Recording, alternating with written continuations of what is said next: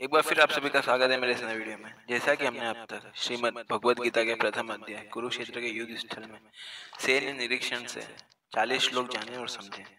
आज हम उसके आगे इकतालीसवा श्लोक जानेंगे और समझेंगे। तो ऐसे ही वीडियो के लिए और श्रीमद् भगवद गीता के सभी अध्याय और श्लोकों के बारे में जानने और समझने के लिए इस वीडियो को लाइक करें, चैनल को सब्सक्राइब करके बेल आइकन को पर प्रेस कर दें, जिससे आगे आने वाली सारी वीडियो की नोटिफिकेशन आप तक पहुँच सके। और हाँ कमेंट में जय श्री कृष्ण ज़रूर लिखें।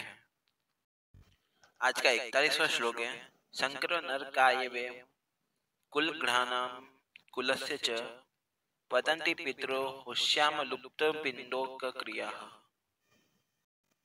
इस श्लोक में कहा है, अवांछित संतानों की वृद्धि से, निश्चय ही परिवार के लिए तथा पारिवारिक परंपराओं को विनष्ट करने वाले के लिए नारकीय जीवन उत्पन्न होता है।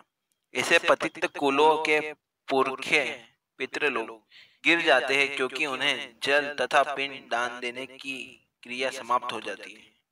श्लोक से तात्पर्य है, सकाम कर्म के विधि विधानों के अनुसार कुल के पितरों को समय समय पर जल तथा पिंड दान दिया जाना चाहिए।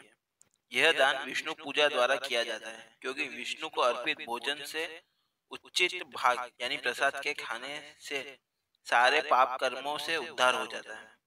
कभी कभी पितृगण विविध प्रकारों के पाप कर्म से ग्रस्त हो सकते हैं। और कभी कभी उनमें से कुछ को स्थूल शरीर प्राप्त न हो सकने के कारण उन्हें प्रेतों के रूप में सूक्ष्म शरीर धारण करने की लिए बाध्य होना पड़ता है। अतः जब वंशजों द्वारा पितरों को प्रसाद अर्पित किया जाता है तो उनका प्रेत योनि या अन्य प्रकार के दुखमय जीवन से उद्धार होता है।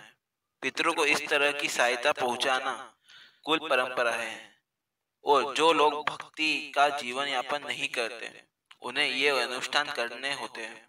केवल भक्ति से ही मनुष्यों सैकड़ों क्या हज़ारों पितरों को ऐसे संकटों से उबार सकता है। भागवत में कहा गया है देवर्षि भूताप्तण्यम पितृणाम न किंकरो नायम च राजनम। सर्वात्मना यह शरणम शरीयम। गतो मुकुंदम परिहत्त जो पुरुष अन्य समस्त कर्तव्यों को त्याग कर मुक्ति के दाता मुकुंद के चरण कमलों की शरण ग्रहण करता है। और इस पद पर गंभीरता पूर्वक चलता है।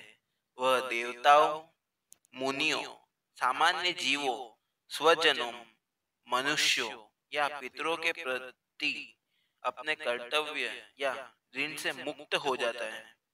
श्री भगवान की सेवा करने से ऐसे दायित्व अपने आप पूरे हो जाते हैं। वीडियो में यहाँ तक बनने के आप सभी का बहुत बहुत धन्यवाद। अगर वीडियो अच्छा लगा हो तो वीडियो को लाइक करें। चैनल को सब्सक्राइब करके बेल आइकन को ऑल पे प्रेस कर दें और कमेंट में जय श्री कृष्ण लिखें और ज़्यादा ज़्यादा शेयर करें।